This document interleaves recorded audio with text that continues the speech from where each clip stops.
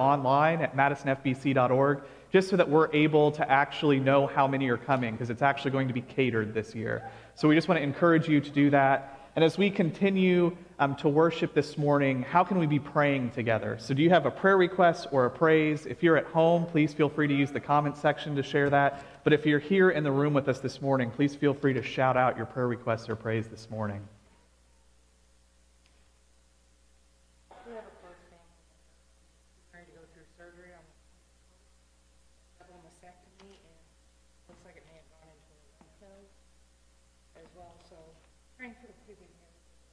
You have a family member who's having a double, a friend, a family, having a double mastectomy. Yeah, and they're afraid it's going to Okay.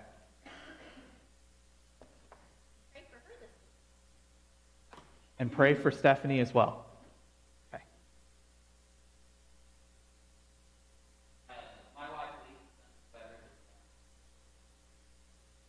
So is not feeling well today.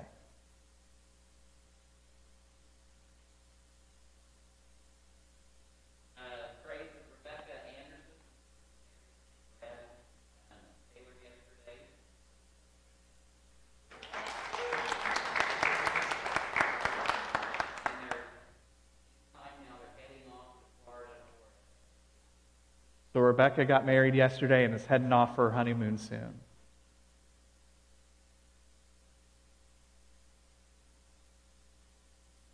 Anyone else? Will you join me in prayer? God, we come to you knowing that you are the creator of this world, that you are with us and present, and that we have the ability to come together this morning to praise and to worship you.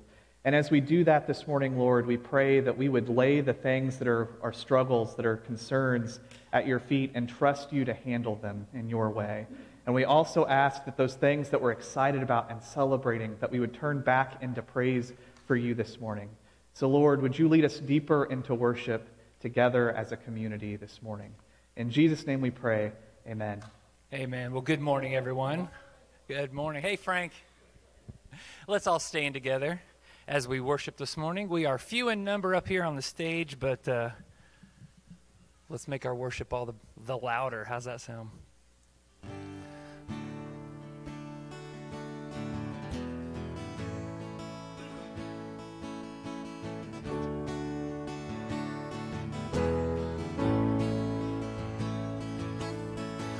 The storm rises from the deep and rages around me, but I will remember.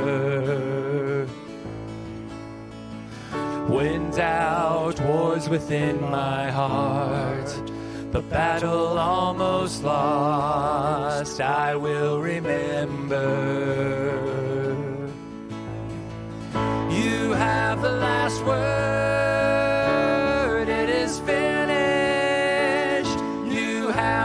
last word, it is finished. My fear is silenced in your love, my hope is endless.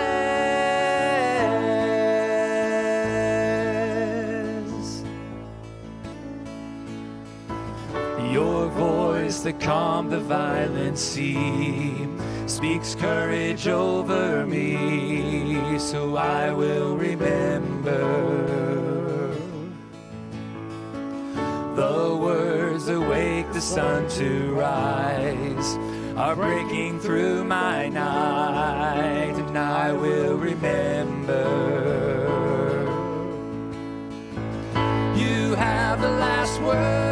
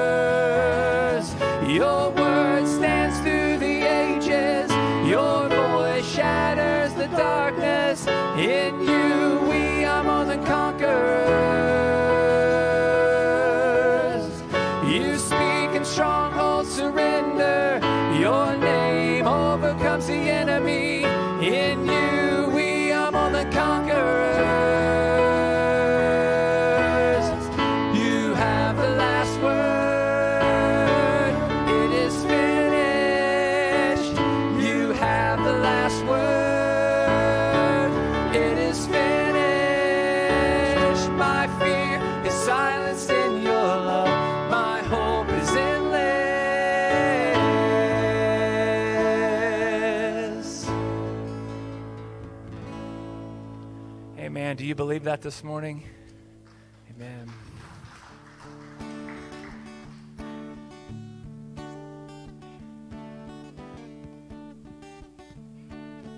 I am not skilled to understand what God has willed, what God has planned. I only know at His right hand stands one who is my Savior. I take Him at His word and deed. Christ died to save me, this I read. And in my heart I find a need for Him to be my Savior. That place on high and come for sinful man to die. You counted strange, so once did I, for him to be my Savior. My Savior loves, my Savior lives, my Savior's always there for me. My God, He was, my God, He is, my God, always gonna be. Yes, living, dying, let me breathe. My strength, my solace from this spring. That he who lives to be my king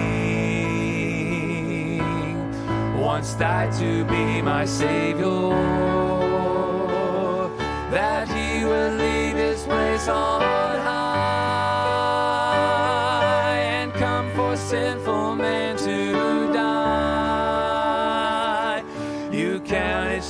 so once did I, for him to be my Savior. My Savior loves, my Savior lives, my Savior's always there for me.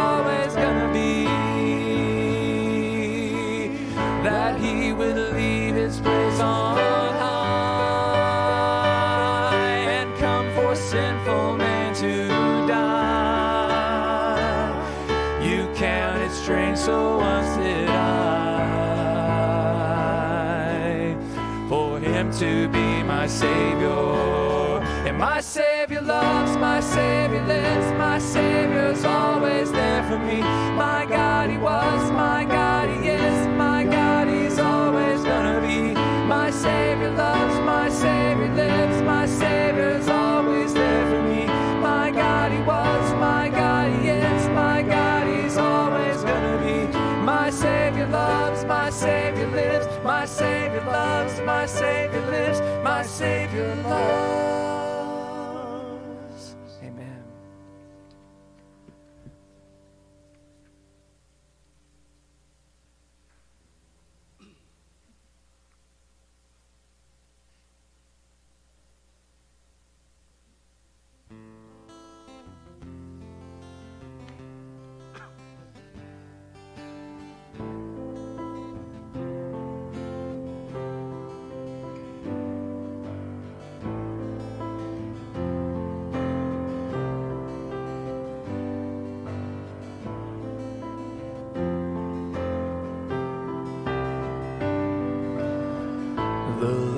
My portion, I shall not want.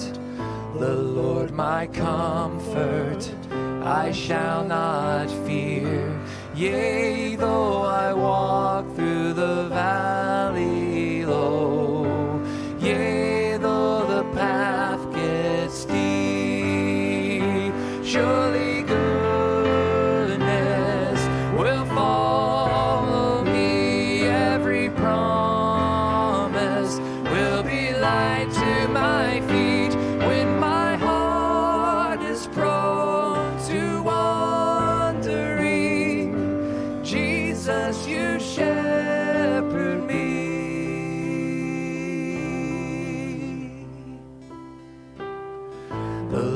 my keeper, I stand secure.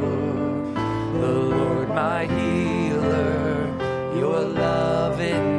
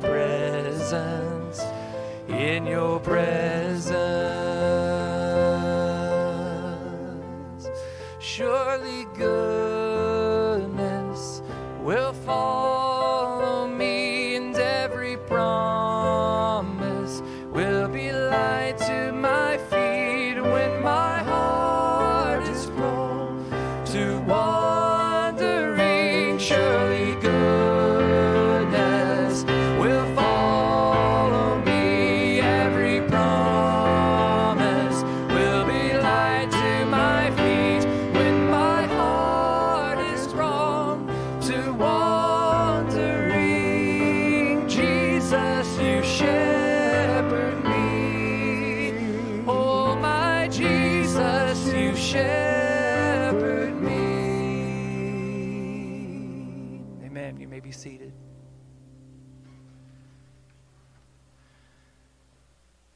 Father, we come to you at this time and we just uh, lift up any offering that might be taking place online or anyone who chooses at this point or later on in the service to give. Lord, we lift that up to you. Father, just as a sacrifice of praise to you. Again, Lord, knowing that everything we have comes from you. Help us not to take credit for the things that we have done, Lord. Help us not to say, oh, I did this, look at me, but instead always turn our gaze back upon you, the one who loves us, the one who cares us and supplies all of our needs according to your riches and glory, Lord. And we'll be careful to give you praise for all that you've done. And it's in Jesus' name we pray. Amen.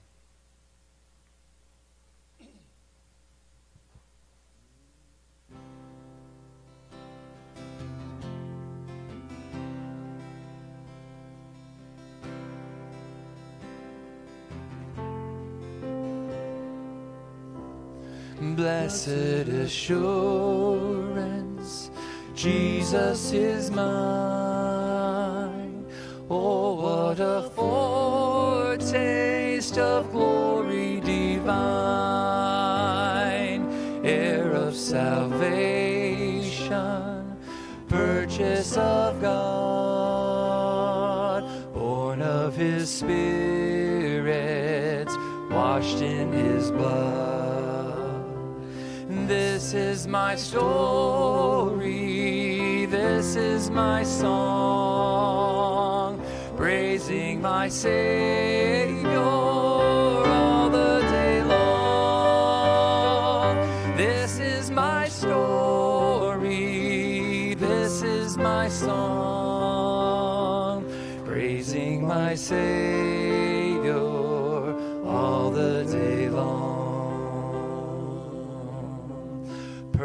perfect submission, perfect delight, visions of rapture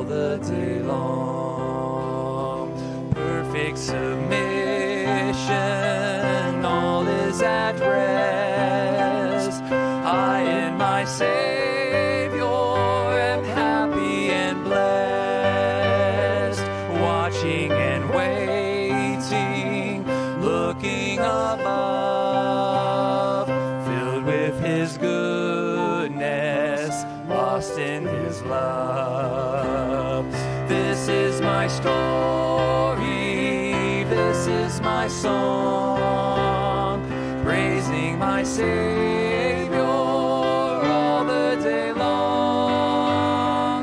This is my story, this is my song, praising my Savior all the day long. Sing it with us now. And this is my story, this is my song,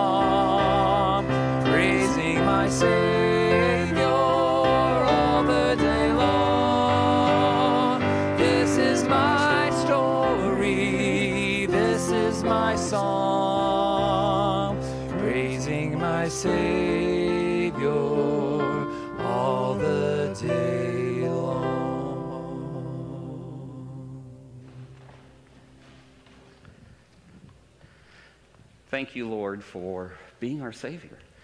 God, teach us what that means. Teach us how to worship you. Teach us who you are so that when we worship, we're worshiping you, not some image that we create in our own minds. So, God, as we turn our lives over to you every day, we just thank you for showing us the way. In Jesus' precious name we pray. Amen. Well, good morning. So I'd love to share with you from Exodus this morning, second book of the Bible. And this is an incredible story. And as, as I read through, as I reread through these passages and these chapters in preparation, I was reminded of things and also learned some new things. Um, just a background remember, Moses was called by God to lead the Israelite people, the Hebrew people, out of bondage and slavery in Egypt and lead them back to their, their ancestral place, to the, the land of milk and honey. And as they went on this journey, God did amazing miracles, showing them who God really is. Amazing story. So read back through Exodus, just amazing encounters. And as they're traveling as a group of people, for example, God was with them as a pillar of fire at night and as a cloud by day and crossed the Red Sea, the waters parted. And then as they're traveling through the desert, God provided them food and water um, as needed and what they needed to survive. And then they get to a point, they're at the foot of Mount Sinai. And Mount Sinai is an amazing mountain.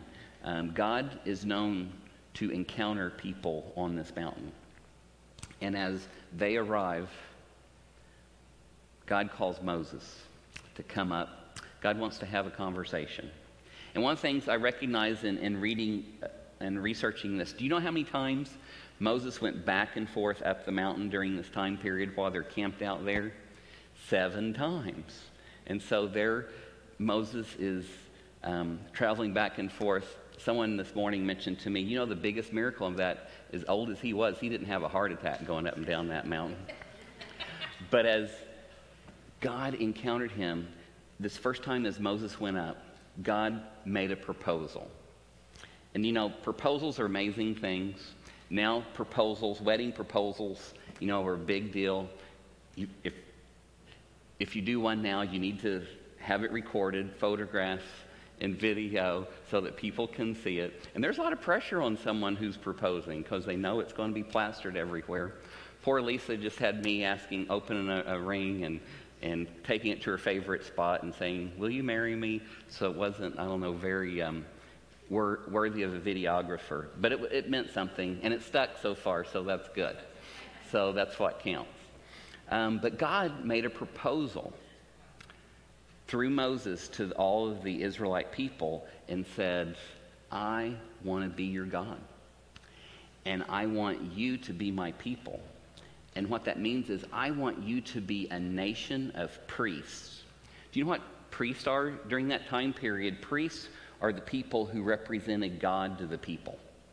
And he didn't just say, I want a few priests, I want a nation of priests.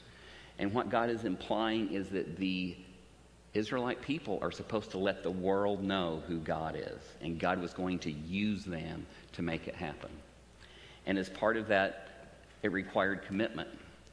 And so God explained this to Moses, and they, God decides, I'm going to present this directly.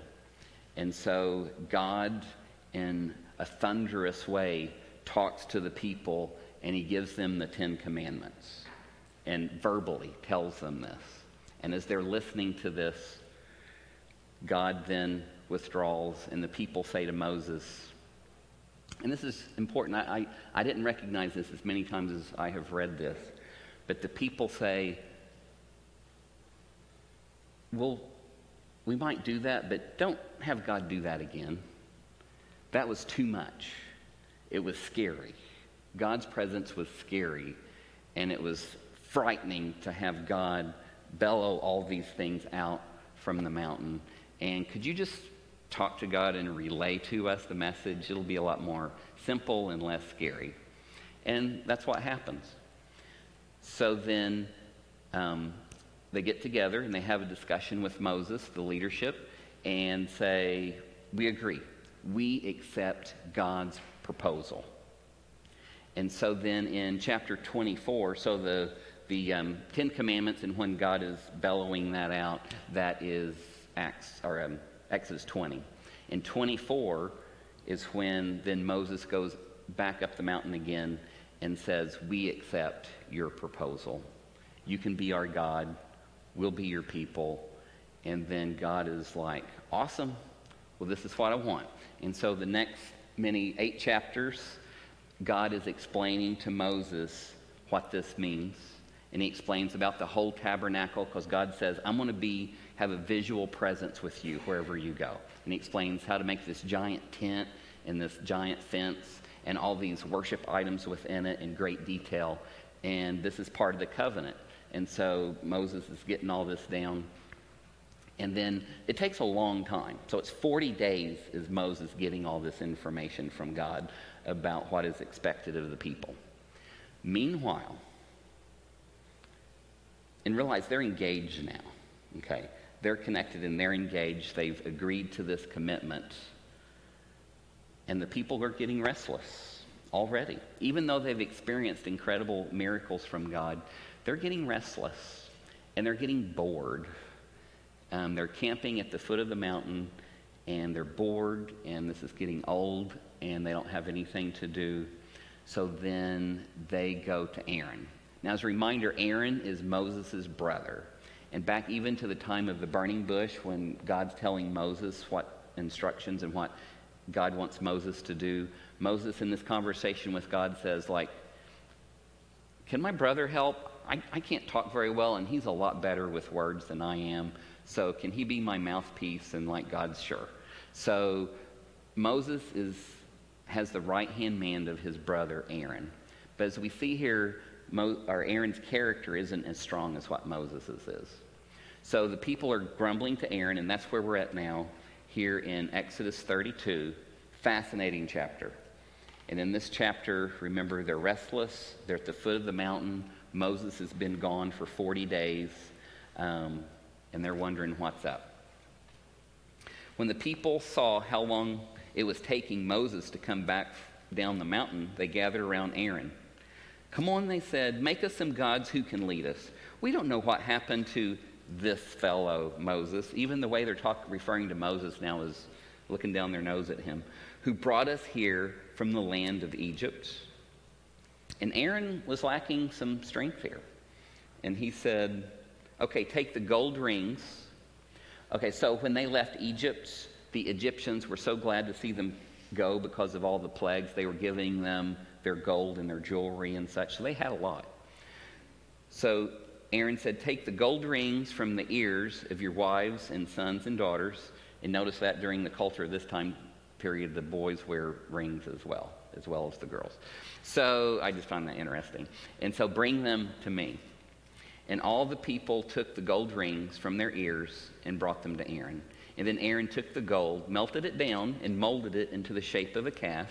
And when the people saw it, they exclaimed, Oh, Israel, these are the gods who brought you out of the land of Egypt. This is incredible. The people are not following Yahweh anymore. They're wanting something they can see. Remember, God on the mountain, remember that was just a few chapters back? That was, God was too big. God was too powerful. God was mountainous. They want something more tame. They want a domesticated God that they can easily package and put in a box and be who they want God to be, not that big, scary God who's the creator of the universe. And then I think it's so curious is their leader at this point is Aaron. And Aaron then does what they want. They wanted something, and he knows it's wrong, as we can see in a second, but he's willing to do what the people are asking him to do to keep them happy I don't know if he's afraid of losing control while Moses is gone and he doesn't want a major rebellion on his hand. So he feeds into what they're saying and he builds a calf for them to worship. And Aaron in 5 saw how excited the people were, so he built an altar in front of the calf. And then he announced, Tomorrow will be a festival to the Lord. Okay, so he builds a golden calf to worship, but then he's recognizing and he knows this is wrong and he sees the people excited. So now he's trying to bring it back to God, Yahweh. And here in the passage in, in your Bibles, it's Lord is capital, all capitals, L O R D. That means Yahweh. He's using the holy name of God. So he's got a clear picture in his mind that this is Yahweh that he's leading them to worship, but it's at an altar at the foot of a golden calf. A lot of confusion is going on here you know, major confusion in all their minds. Aaron's confused as who he needs to be as a leader because he really knows what's right and what's wrong, but he's doing what the people want, which is wrong. And then the people are allowing their influences from their culture living in Egypt where they have these idols, they're bringing that cultural mindset with them. And it's hard for them to separate what they learned from the Egyptians about who God is in that culture and to learn this new understanding for them, which really isn't new at all, but to understand the true image of who the awesome creator God, Yahweh, the creator of the universe, is. And they're struggling with that. And Aaron's trying to bring them back. In verse 6, the people got up early the next morning to sacrifice burnt offerings and peace offerings. And then I'm wondering, who are they doing that to? In Aaron's mind, he's trying to bring them back to worshiping Yahweh, even though he made a golden calf, which was stupid. But what's in the people's mind? So they're coming to worship at this festival. And after this, they celebrated with feasting and drinking, and they indulged in pagan revelry. And the, the Hebrew word for that involves lots of physical touching. So, whatever that was, it doesn't sound good at this moment as they're partying at the foot of the mountain while they're engaged to God. Okay, so they're, they're cheating on God already during the engagement. Doesn't bode well for their future on their part. Do we do that? As I look at this and I'm thinking, how stupid can you be, people? You have just seen all of this majesty that God has done. He's, he's done all these miracles for you, sustaining you with these gobs of people, leading them across the desert. What are you thinking? And then the Holy Spirit speaks to me when I'm thinking that, and it's like, Randy, isn't that you? Isn't that what you do? You don't always have a clear image of who I am, and you go against me sometimes and against my character and my nature because you start reconfiguring who you think God is in your mind. Is that different than them? Is that so different? And I'm like, yeah, I understand. So, as much as I want to point fingers at their stupidity, I have to point those same fingers back at me and my own stupidity. And the truth is that we all do that. In fact, I just saw a, um, yesterday, uh, as I was looking at some things online, it was a study was done that said one third of practicing Christians who consider themselves evangelicals, which that 30% of them do not think that Jesus is a deity. Yeah. And I'm like, what are they thinking? And then there was a, a scientific study done over a decade ago by people out of um, Princeton Seminary. And they did a study interviewing, it's a very exhaustive study looking at people's understanding of who God is in the United States. And what they found is that people had made their own golden calf. The vast majority of us, is what they said, had made our own golden calf. Because what they said that people have done is they've forgotten about the God that's presented in Scripture and have created their own God. One that's tame, one that's controllable, and one that does what we tell God to do, not the God of the universe.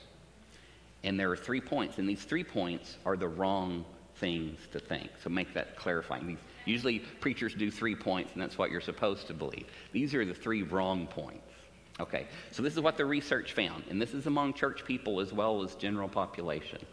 So one is that God wants you, the, the, the imaginary God, the golden calf God, God wants you to be moral.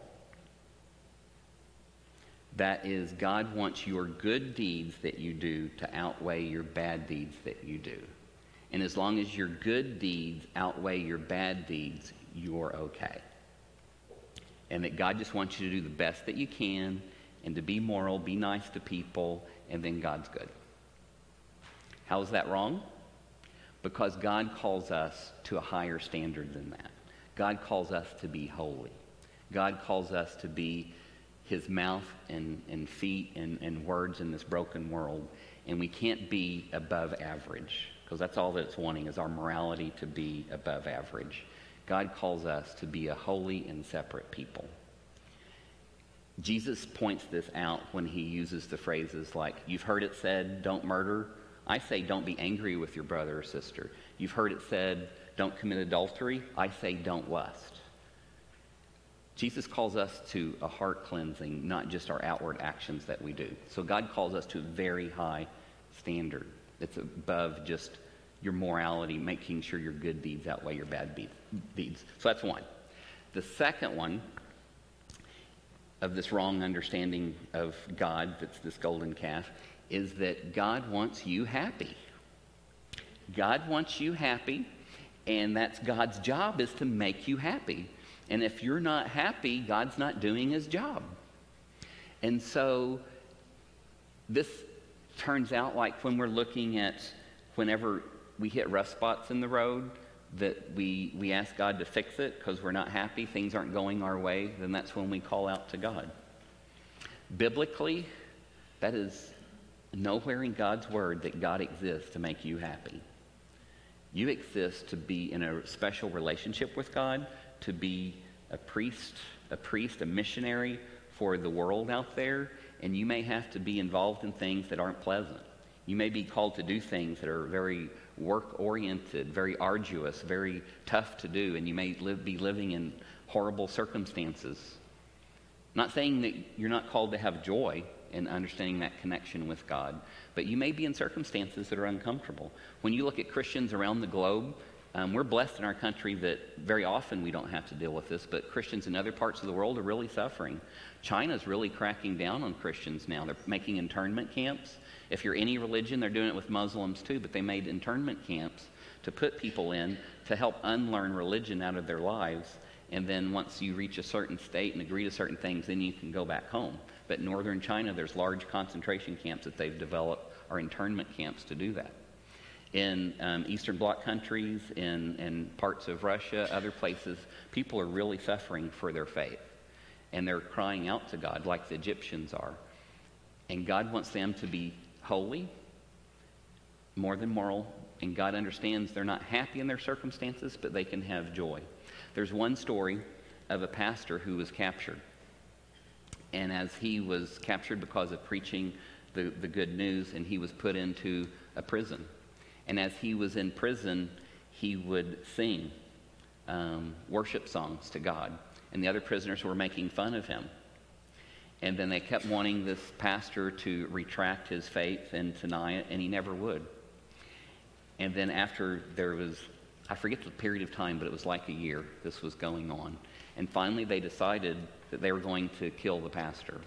And so they get him out of jail, and they're walking out of his cell, and they're walking him, and as they're walking, and all prisoners all know what's going to happen, the prisoners all start singing the worship songs that he was singing and that they were making fun of him. And it wound up as the prison officials discussed what was going on, they thought it would be better to put the pastor back in jail. And he avoided execution because they understood that something was going on there that was bigger than them. God may call us to very difficult circumstances may cause us to take risk. God may cause or call us to give up money, may cause us to give up things. In my home church, I remember there was a couple that I respected, and they felt called to be missionaries. And they're wondering, and they had a farm, they sold their farm. And as they pursued what God was calling them to do. And it didn't end a happy story as they brought tons of people to Christ. They were missionaries for several years. The organization they went with um, stopped functioning and they wound up coming home and with no farm and they were starting from scratch again and they were praising jesus and i learned from that that sometimes we can be following what god is calling us to do but that doesn't necessarily make you successful in the world's eyes but they were successful in god's eyes as they were pursuing what god was doing so god doesn't exist just to make us happy he calls us to something much higher than that now, the third thing that is the false golden calf um, is that God is distance. God is distant from us. God is not with us all the time. And it's, it's more convenient. Just like the Hebrew people, when Moses um, and, and God, were, God was thundering and telling the Ten Commandments and part of the covenant, and that was too scary. They wanted God back up on the mountain and being quiet and just talking to Moses. That's exactly what the people today with the golden calf idea is they want God distant as well. They don't want God here all the time. What the research found is that the people want God only in their lives when they're not happy and when they need something. So when they need something, then they want God to come down from way out there and come down face to face and then pray and then talk to God about what we need. And then when they're done, then God can go back up on the mountain again. So it's very much where, with this modern golden calf idea, is that God does what the people say. And that, that we're, we're, as long as we're moral, then we can call on God and He'll make us happy. Now, what the research found is that vast numbers of people believe this, but not for long. They found that after a person is living life for a while, that as they experience real life and bad things happen, then they recognize God's not very good at making me happy. Rough things happen, and things happen in life that we don't like. Therefore, the majority of the time, because the image is so of, benign, of God is so benign, so weak, so domesticated, then the next thought process is that instead of changing the idea of who God is to something more accurate of who God is, they just dismiss God and say, God must not exist because God's not doing what God's supposed to do. I'm not happy. I've got problems. Things, life stinks sometimes. And so then they just shove God out the door and forget God. So when it comes to us, I want us to really think, and for myself to think, am I creating a golden calf that's safe and domesticated to worship? Now, these people had experienced God in real ways for a long period of time as they've left Egypt and as they've been traveling through the wilderness. You've been seeing God as well, working in a lot of different ways around you and in your past. You've seen God working. But that doesn't mean that you're worshiping a true image of who God really is. You could be worshiping a golden calf and not even know it because you're so used to it. I can be doing that because I'm so used to seeing God in, in the own image that I created that I've forgotten who the true God is. It's so easy to do that.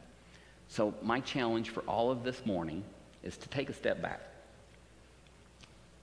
and to think about this.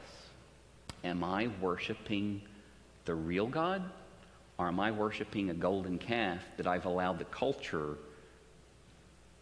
to teach me who God is? Remember, just as the, the Egyptians taught the Israelites who God is falsely with all these other little gods, every time we listen to media, we turn on the TV, listen to music, we're being trained who the golden calf is. And it's so easy to confuse those things. So here's what, one way I want you to start thinking about things. One is listen to your own prayers. What are you praying? Are you praying like a, a, a to do list for God to do for you? Are you praying, God, I need this, and I need this, and I need this? And my friends over here, they need this, and they need this, and they need this going on in their lives? If so, you might be worshiping a golden calf if, that, if that's all you pray. You see, the conversations that we have with God, the conversations we have with people, inform us who, what we think about that person. You know, if we have a friend who's a really good listener, we may go to that friend and, and share our heart with them. And as we share our heart and they respond well, then that tells us that we think this person is a good listener. And it's good to recognize that. And if you have something going on, you know who to go to. Um, but your prayers are the same way. As you pray, they inform you what you think about God. So if you're not praising God about God and God's majesty and glory as the creator of the universe and the bringer of salvation to us, then your God's too small. Think about what you're praying.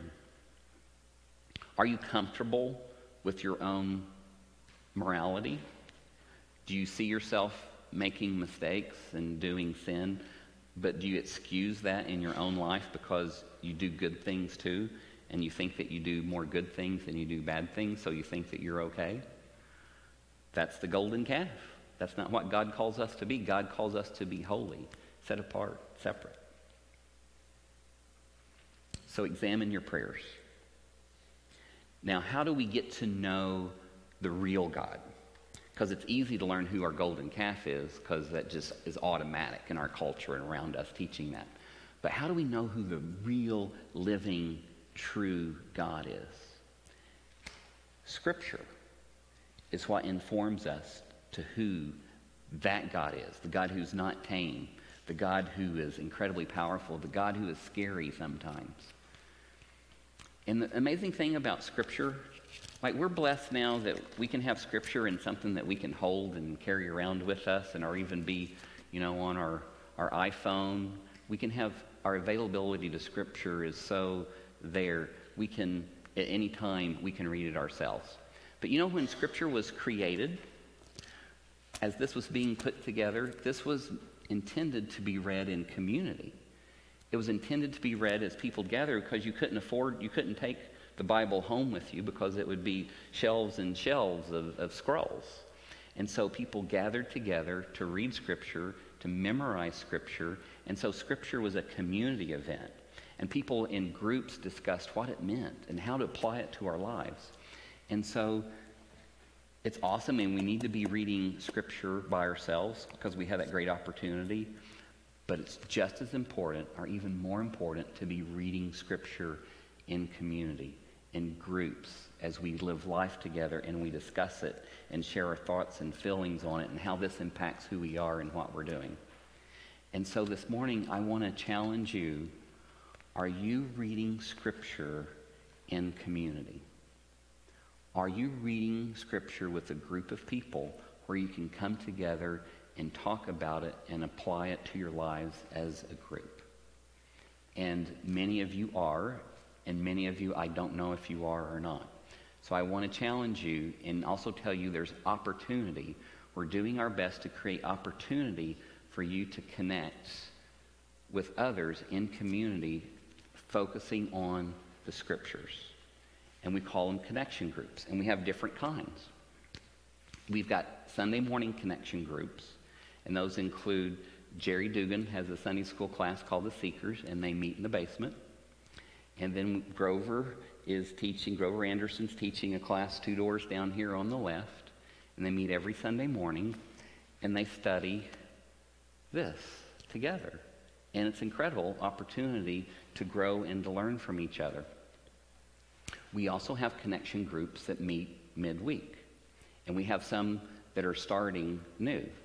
So, for example, on Monday nights, starting on the 19th, the Whites will be hosting at their house. And so you can go there and connect in community. And then Tuesday night, Eric is going to be leading here at church, connection group, and you're welcome to join that.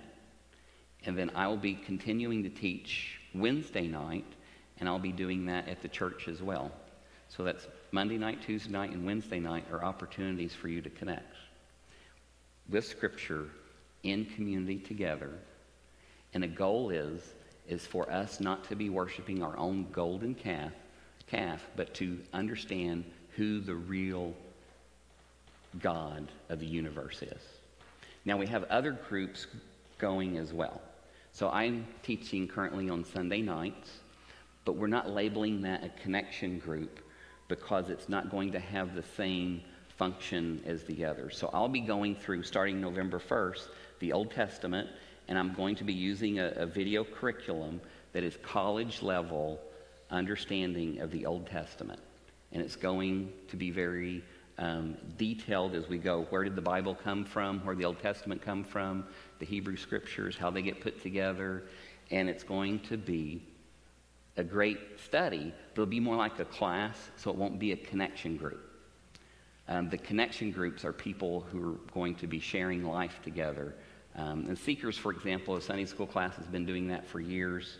I think they've met 1,800 times or more than that. Um, Jerry keeps track on his board of how many times they've met. But they do send cards to each other, and they're responsible to each other as a group of people. If someone's not there, they check up on them. Um, it's a really important way to do a connection group together. Um, so Sunday night, my class won't do that intentionally. It may happen naturally, but it won't be intentional. So it's an Old Testament survey class, so it'll be a little bit more like you're going to a class to learn.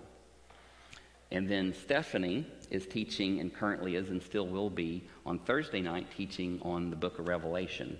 And that is happening and still going in the same way. That is a class that you would attend and go to.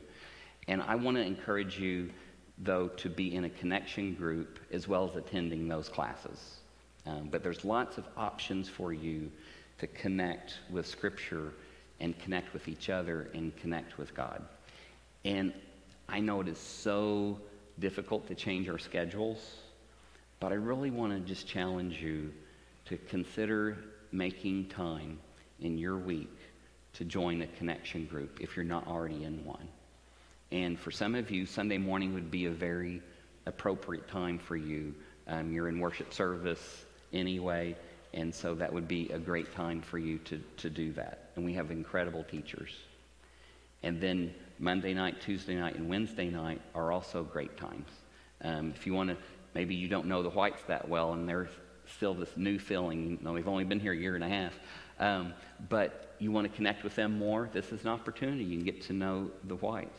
And maybe you, you hear Eric and you see him lead up here with music and occasionally share some biblical insight with you, and you, you're interested in more of that. Um, Tuesday night, look at your schedule and see if that works for you and do that. Wednesday night, you hear me Sunday morning. I won't get a, a bit feel bad if you're doing not my group because you get to hear me already. But I'm meeting Wednesday nights, and it'll be always virtual as well. And so it'll be virtual, and you can connect with that as, as well. And the other groups will decide for themselves if they want to be virtual or not. But I just really want to challenge you to think about that because you need to be connecting with Scripture, with God's Word, to make sure you're not worshiping a golden calf by mistake. Because for many of us, and let, us be real, because we're human beings, the image that we have of God, I don't think is ever perfect because of our limited, finite minds, and God is so big and so powerful. So if you think you've got a good grasp of who God is, I probably would doubt you um, because learning who God is for me is a lifetime process of learning this and learning God's character and nature and who God is. And I need to be studying in groups to teach me and inform me. And I think you do too. So if you're not connecting with a group now, here's great opportunity to do that. And this isn't a, a permanent commitment, um, but I want to challenge you as strongly as I can to consider being part of a connection group. And if it doesn't work perfectly for you, that's fine. You'll have opportunity to switch and do something else. And all the teachers won't mind. They understand there's different fits, and different groups will have their own personalities, and that's good and that's fine. So consider it. Now, how do you connect with these? On our webpage, madisonfbc.org, you can go to that and click on our connection groups and see when they are and what they are and sign up for them. And then the way this will work starting next week, the connection groups will be following the same themes that happen Sunday morning and be expounding on those and allow discussion of what is presented Sunday morning. And then the non connection groups will be doing their own thing. So I'll be doing my own thing Sunday night. Stephanie will be doing her own thing Thursday night. So just clarifying on how that works. And the reason is, is for at least seasons, I want all of us to be studying the same thing together so we're growing in the same direction. And this season, um, as we approach um, Christmas, we'll be studying the Old Testament because that's the foundation of the New Testament. And it's, you can understand Christ's teachings better if you have an understanding of the Hebrew Scriptures. Does that make sense? I'm challenging as hard as I can to get plugged in, and I know you've got really busy lives and things are going on and things can get crazy, but I just really want to challenge you to try to understand that you could be worshiping a golden calf and not know it. And the way to figure that out is to have friends come and support you and talk to you and, and point to God's word and challenge on the way you think. And I appreciate being challenged as well. You know, all of us can, can grow from each other. Now, also, if you're not an online person, um, downstairs, Josh will be there right now at a, a, kiosk after the service, and he can help you um, consider different connection groups and ask, answer some questions about those as we strive to do this together. And this is, a, we will be following the pattern of following what's going on Sunday morning up till Thanksgiving. It's not very long. That's a short time to commit to something. Just try it. You know, just try it and see how it works. And I just, I can't ask you any stronger way than I can that get plugged in with a group. It's really, really important. My major spiritual growth over the years has come from my connecting with other people in groups from college age on than any sermons that I've heard. Okay? So I want that same blessing for you. As we um, close, I want you to think about these questions. What ways are you learning the true nature of God? What are you doing now to make sure you're not worshiping a golden calf? And then also, if someone examined the words you pray, what would they say you thought about God? As you're praying this week, listen to yourself. Am I giving God a wish list like we would give Santa at Christmas time? Or am I praising the holy God of the universe? So think about those things.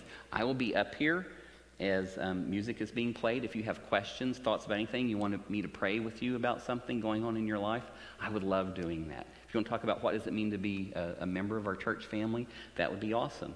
This is an opportunity for you to listen to the Holy Spirit. Um, please be open to that.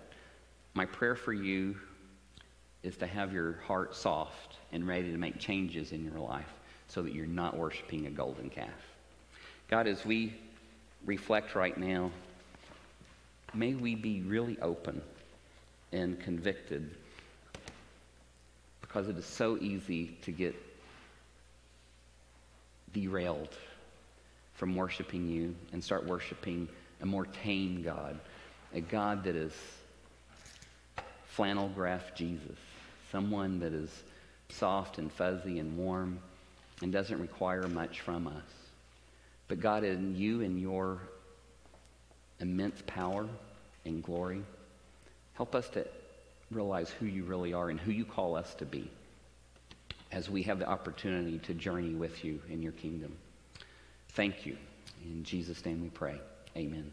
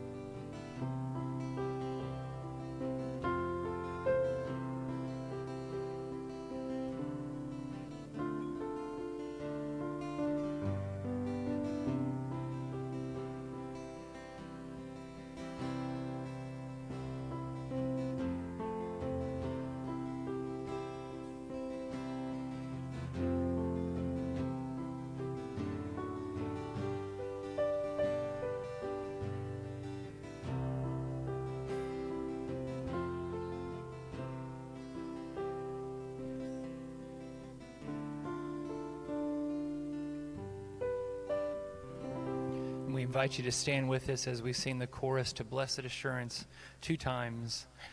And this is my story, this is my song, praising my Savior all the day long.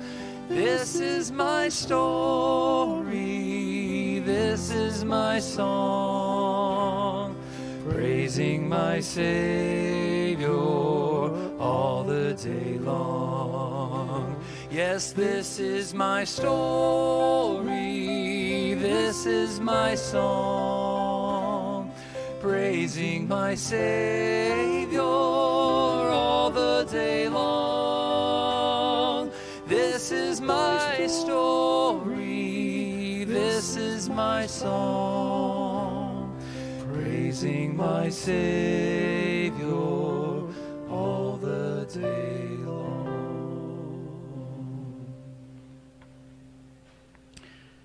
Father, thank you for leading us and guiding us If we're worshiping a golden calf, show us.